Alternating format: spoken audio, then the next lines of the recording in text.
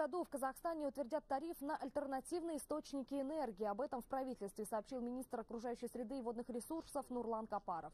По его словам, тариф на ветровую, солнечную, биогазовую энергию будет фиксированный. Точный его размер еще неизвестен.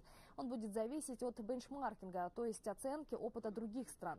По поручению главы государства в профильном ведомстве уже изучили практику стран Евросоюза.